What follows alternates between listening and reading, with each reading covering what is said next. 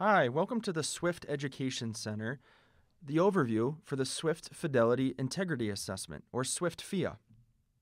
Today we're going to spend about 15 minutes overviewing the Swift FIA, or Fidelity Integrity Assessment. Here's our agenda. First, we're going to talk about the purpose and why Swift FIA may work for your school and leadership team. Second, we're going to provide an overview on what is Swift FIA. Third, we're going to give some few examples on how to administer Swift FIA, and then we'll give you some resources, and you can contact us if you have any further questions. Why Swift FIA? First, Swift FIA is useful to help teams examine the current status of their implementation efforts. Second, it helps school leadership teams and leadership team members to capture their perspectives. And finally, it helps inform teams when making multi tiered system of support implementation decisions. You may be familiar with the SWIFT framework. Here we have five domains and 10 features. You'll see on the left administrative leadership, integrated educational framework, family and community engagement, and inclusive policy structure and practice. At the top, we have MTSS, or Multi Tiered System of Support. Swift FIA has 22 items. As I just overviewed, there are five domains and 10 features.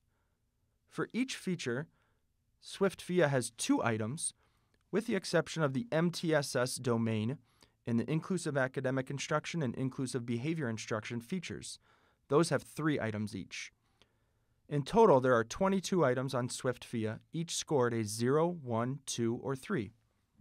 FIA is a self assessment completed by a school leadership team and it is conducted two to three times per year.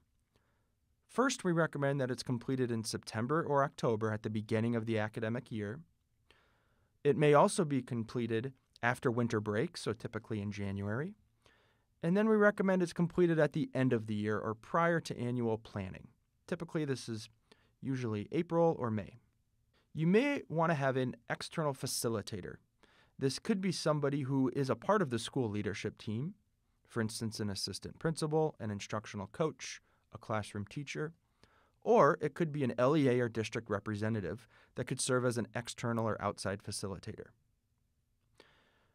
We recommend that the participants in this self assessment include school leadership team members.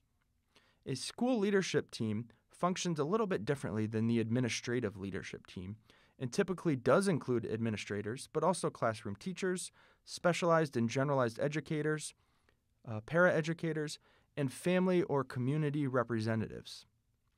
The first administration of Swift FIA typically takes an hour to an hour and a half.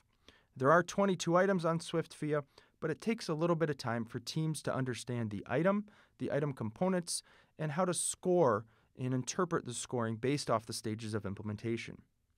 However, subsequent administrations take less than an hour, and that's for two reasons.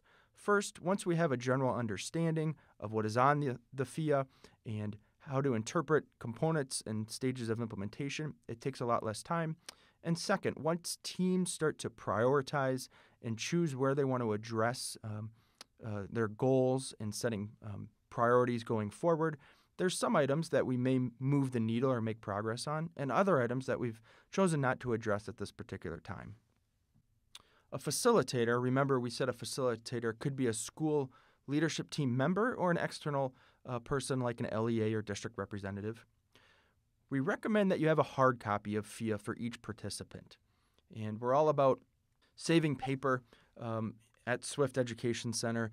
However, with the Swift FIA, it's something that is really great to have a tangible example in front of you, projected onto the wall, be able to take notes and have dialogue about the item and the item components. So we really recommend that you print a copy of it for each participant. We also recommend that you may want to assign some team members, somebody to be a note taker, and you'll see here in a little bit when uh, we are talking about some of the items, I'll serve as a note taker. And then you may, may also want to have somebody who's the scorer or data entry, and we'll give you a, a data tracking tool to help you do that. So, somebody who's going to upload those scores for us. I'm going to turn it over and we're going to talk about the four stages of implementation 0, 1, 2, and 3. So, as Dan said, the SWIFT FIA is scored based on the stages of implementation. Your team will be discussing which components of each item are in place, and this discussion will help you determine how you will score the item. If, an item, if a school does not have in place any of the components of the item and no action plans are currently planned or in progress at the time, the team is in the stage of laying the foundation. This doesn't necessarily mean that the school hasn't been discussing the current status or the need for implementation. They may even be having discussions to identify existing strengths and opportunities and the degree to which the item description meets the needs of their school, or even exploring options for how the item could meet the needs of their school. But if they're currently not, if they currently do not have any of the items in place, they would be in the laying the foundation stage. So as you can see, you could still be doing a lot of work and a lot of discussions around something, but be in the laying the foundation stage. If a team is, has a clear plan and is actively working on putting in place the components of the, this item, they would be the, in the installing stage. So, in the installing stage, you may be working on some components of the item or even all of the components of the item, but it's clear that your team has clear plans in place to develop the feature and they have personnel assigned and responsible for carrying out the planned tasks. If this is happening, then you are in the installing stage. If a school has in place all of the implementation components and is now working to refine and improve upon them, then you are in the implementing stage. The implementing stage is where transformation efforts are starting to make systemic changes. This means that you have all of the implementation components in place to score a 2 to show that you are implementing the item. To score a 3, sustaining school-wide implementation, your school would have all of the components in place, but also be working to make efforts to ensure that they are fully integrated and well-functioning. The school maintains and improves skills through the system, and their overall effectiveness is monitored, and components for ongoing implementation are revised to improve contextual fit when necessary. So that means to score a 3, sustaining school-wide implementation, not only is the school implementing all the components of the item, but they're also monitoring those to make sure that they're effective and in place and reviewing and revi- revising as needed. So let's talk about it, what that would look like using an example. We're going to look at item 2.1 from Swift FIA. This item is education, coaching, and learning. The item says our school provides sufficient professional learning and instructional coaching to improve teaching and learning. So if I was going to do this with the school leadership team, I would read that item and then I would have a discussion with the member, members of the school leadership team about what components are in place. So, for my school leadership team, when I look at these items, the first component says that educators in our school receive instructional coaching on the use of research based practices within their first two years of teaching and ongoing as indicated through data or upon educator request. So, with the school that I teach at, this is in place because we do have instructional coaching in the form of mentors provided for all new teachers within their first year of teaching. Also, if an educator would like, there are instructional coaches provided from the district in both literacy and math. They're ab- available based on either need, if an administrator decides that um, this would be something that would helpful, or if an educator just says, I would really like some coaching around uh, the new reading curriculum, that would be provided to the educators upon request. So, Allison, as note taker, what I'm hearing is uh, I'm taking notes here on the right side, and I'm hearing that we do have mentors that are provided for all new teachers within their first two years. We have literacy and mathematics coaches um, that are available from the district, and we can request coaching supports on uh, based on data, or if we just say that we're something that we're interested in. Does that sound accurate? Yes, that sounds accurate. So I would definitely mark that that component of that item is in place. That is one thing that we do have in place at our school. I would also say that the coaching includes modeling, demonstration, support, and feedback in the classroom. So if I request a literacy instructional coach to come to my classroom, they will model lessons for me, they will provide support, they'll observe me teaching a lesson, and then meet with me afterwards to have discussions about what they saw happening and to provide support and feedback on how I could be making changes within that. And so I feel like the coaching that we have available at the school is very supportive and includes all of those components. So I would say that's in place as well. So I'll check that box also. So, the next component of this item is that our school provides professional learning to all staff upon request or need identified by data and includes input from school stakeholders. Currently, in my school, the professional learning is really um, based on district level it's already set. I don't think we have a lot of say in that, or the administrator just kind of determines the professional learning for the school year. But I don't think as a staff member I could request specific professional learning.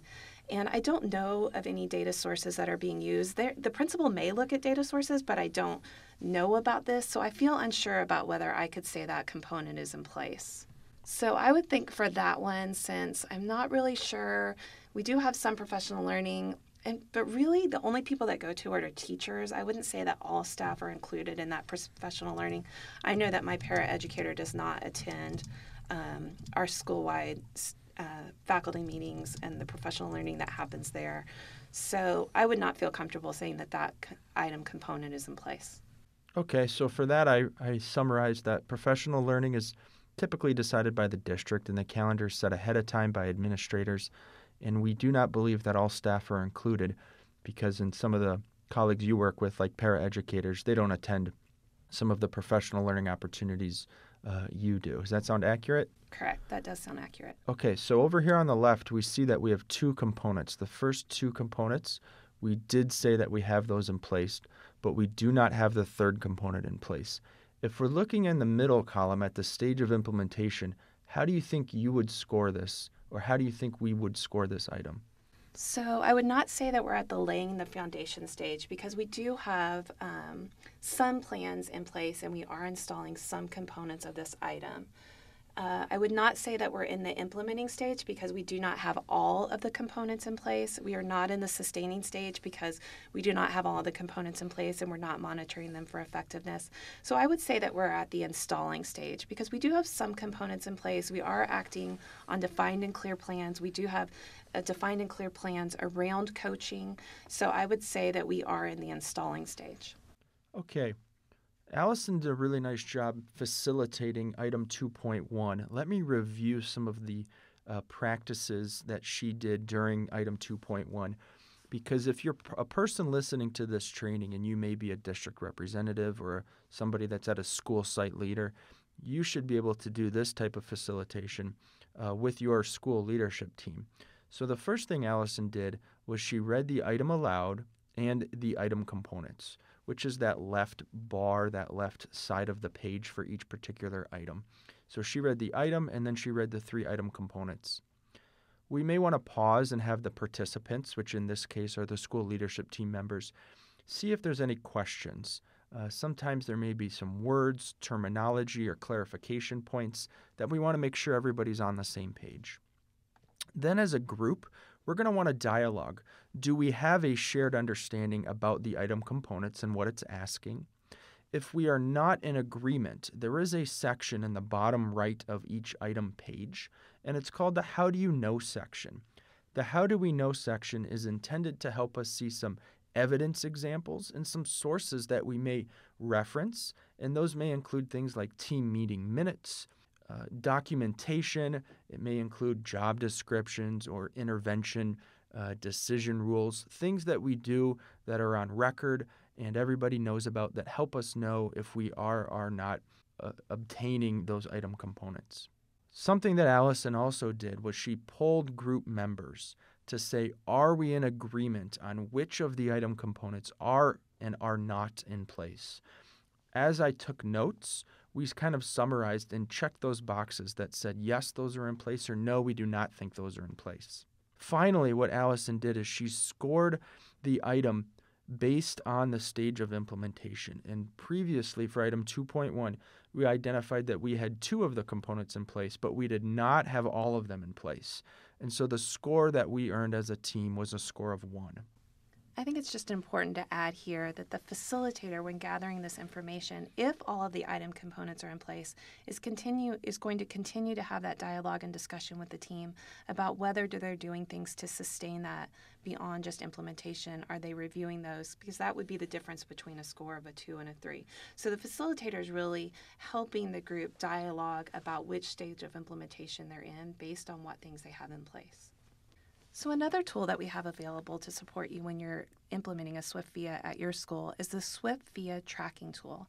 This can be found at swiftschools.org on the resource shelf. The SWIFT FIA tracking tool can be used by the scorer to enter the data that's collected while implementing the SWIFT FIA. It can be entered on an Excel spreadsheet that's located at swiftschools.org in the resource shelf, and the spreadsheet will automatically create charts that can be used by your team to have discussions about what items are in place. You can use the Swift FIA tracking tool as a facilitator to then debrief with the team. You can pull those scores up immediately after the uh, data entry score has entered the scores on the Swift FIA tracking tool, and you can immediately display the graphs and, and show what scores the team agreed upon. That helps your team determine what you're doing well, what the strengths are, what are maybe some areas of opportunity. You can also look at this data in conjunction with other data that you've collected to see how it aligns with other implementation data, such as SwiftFit data, maybe staff surveys, or climate or culture data. And then you can share the results with your school stakeholders. If you have any questions, you can contact us at swift at ku.edu. Good luck completing your Swift FIAs. Thank you.